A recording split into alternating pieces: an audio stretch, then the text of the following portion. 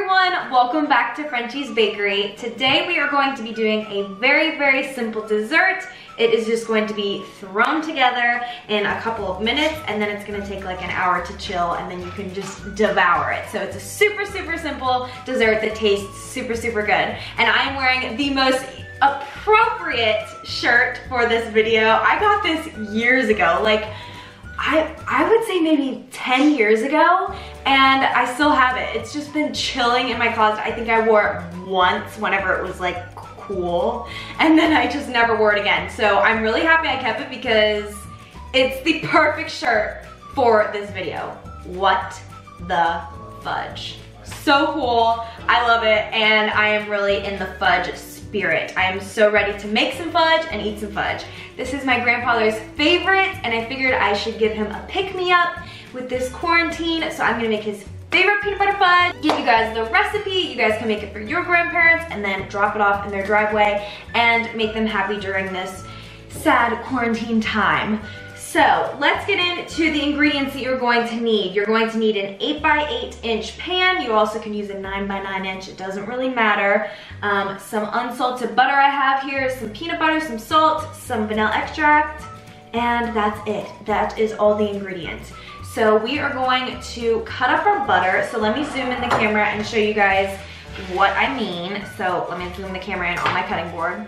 All right, so I have a cup of unsalted butter here and mine is actually at room temperature. It doesn't matter what temperature it's at because we're gonna be melting this in the microwave. And I am just going to cut this up so it melts easier. We don't want anything to like burn in the microwave. So I'm just going to cut this up into little cubes. And then I'm going to add all of these little butter cubes into a microwave safe bowl here and then a cup of peanut butter. And then we're going to add in a fourth a teaspoon of salt. And then we're gonna microwave this for about a minute and then stir it and just keep on microwaving it until it is fully melted.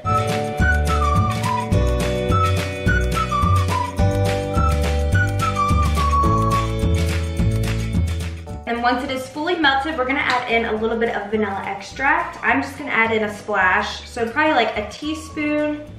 And then we are going to add in our final ingredient, and that is going to be powdered sugar. So let me grab my huge container. This bad boy, I'm constantly using it. I am always using powdered sugar for all of my icings. So I could not stand buying little packs of Giant anymore. So I went to Costco, I bought in bulk, and then I bought this big thing to store it because I just couldn't stand going to the grocery store every single day because I constantly had cake orders going on and I needed to constantly be buying powdered sugar. So I got this and let me tell you, I absolutely love it. It comes in handy and it's just so, so great. And I just store it in my closet. Luckily I have a tiny little closet over in the corner in my kitchen. So that's really, really nice. So we're gonna add in four cups of powdered sugar and we are just going to stir it around. And I'm gonna add in two just to start things off and then I'll add in two more and mix it up.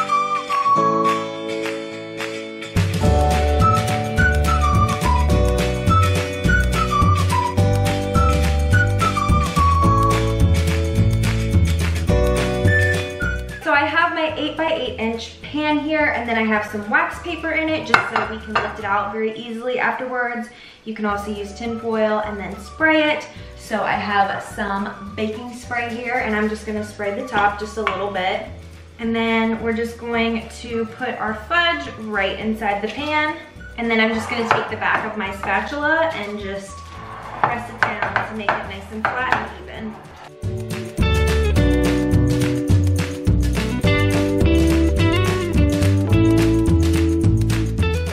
Once you have your fudge in your pan, you can then put it in the fridge for about one to two hours, and then we're going to pop it out and cut it. All right, so our fudge is ready to be cut up. I cannot wait to taste this. It smells so good. So like I said, you just put some wax paper in here and then it's really easy to pull out. So we'll just set that aside. And then I have it here on a cutting board so we can cut out some nice squares. Just gonna take the wax paper off throw that aside and then we're just going to cut straight down and make little bite sizes. And I love this recipe because it is not involving the stove. I do not like boiling milk because half the time it always just runs over. A lot of recipes call for not stirring the milk during the two and a half minutes that it's on the stove and that's a recipe for disaster because then it's gonna boil over. So I really love this recipe. It only involves the microwave, not the stove top, which is very, very nice. So you can cut out any type of size that you would like. I like to make mine a little bit smaller because it's a really sweet treat. So you don't want it to be too overwhelming. And then I'm just going to place them on this nice cake stand here.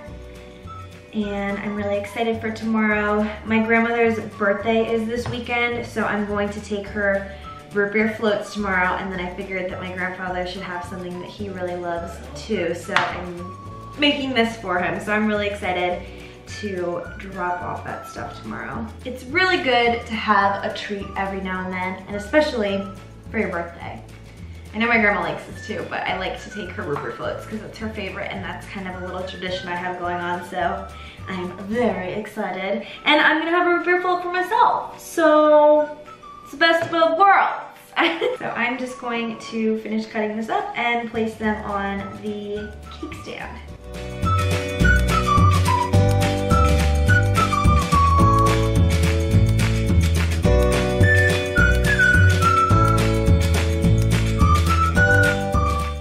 Guys, and it is as simple as that. I'm telling you, this is probably the easiest dessert I have up on this channel. It's so easy and so, so yummy. It is just the quickest, fastest, throw together thing and I absolutely love it and I cannot wait to give it to my grandfather. He's going to be so surprised. I've never made him peanut butter fudge before, so I'm really, really excited to like really, really surprise him because he'll never be expecting it.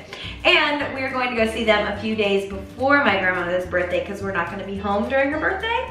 So they're gonna be extra, extra surprised. So I'm gonna call them and tell them to come outside so we can social distance and stay nice and safe. And then we will have just a tiny little eating party together for my grandmother's birthday. So I'm going to be uploading this after we go see them, so it will not ruin the surprise, so don't worry. Thank you guys so, so much for watching. I hope you enjoyed this video. Make sure to like and subscribe, and I will see you on the next one. Have a good rest of your day, everyone. Bye.